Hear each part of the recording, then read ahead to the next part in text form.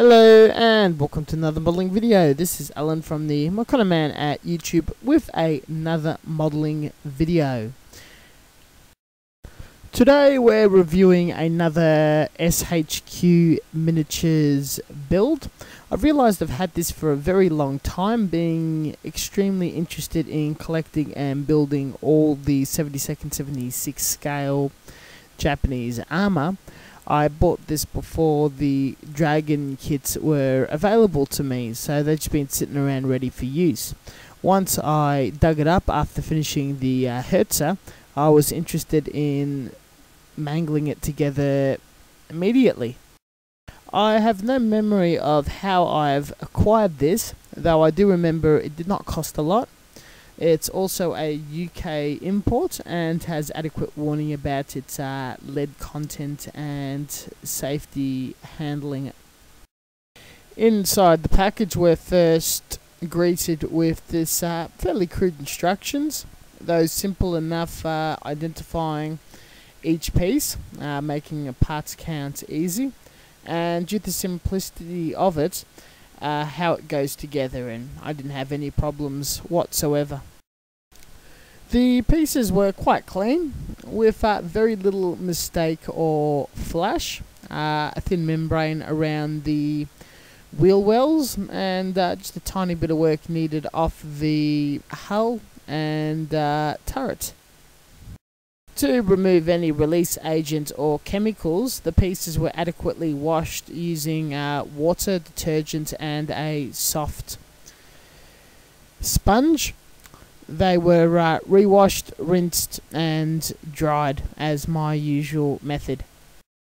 Even though the pieces were fault free compared to the Hetzer in the way of uh, no warping and very little uh, nub marks, there was a nasty seam line that stretched on top of the tracks and around the turrets.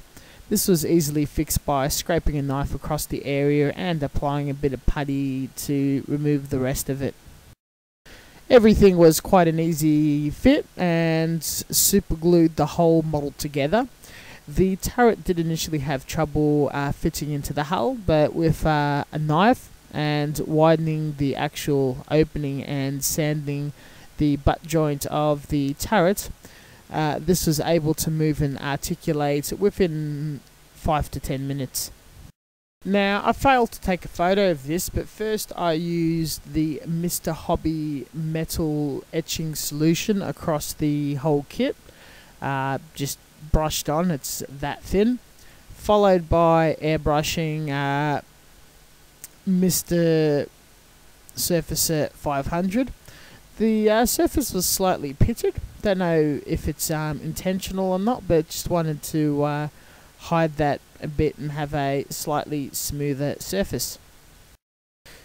Historically, Japan as a closed off nation had a lot of unique ideas for warfare and didn't really share with other countries.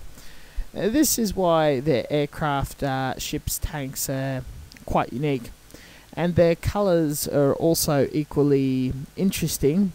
They are developed by uh, Tamiya, but you have to do a bit of hunting on what's quite right for the 95s and 97s and whatnot. Mr. Hobby is uh, keen enough to release this in a uh, full box set of uh, lacquers, being the first coat airbrushed and the other two being such a tiny tankette vehicle hand painted in uh, the configuration of what the box recommends over the lack of reference material. Building the tank was very quick, only took a day. Painting took a lot longer and was quite involved. There was all sorts of different colours to pick out, unlike the Type 89. After the main camouflage colours were painted, the yellow stripes were applied throughout the place, followed by the wheel wells, the tracks, the little tools, accessories, machine guns, and whatnot. Then uh, followed by regular weathering and inking procedures. I've uh, managed to hunt down an aftermarket decal set for uh, Cold War Japanese tanks, and they did have uh, a few flags and symbols in uh, respect and honor of the World War II counterparts, which can be used on uh, these kits. I just only decided to display a flag on each side of the hull since I wasn't going for a particular unit type. Then uh, applied with clear top coat and we're done.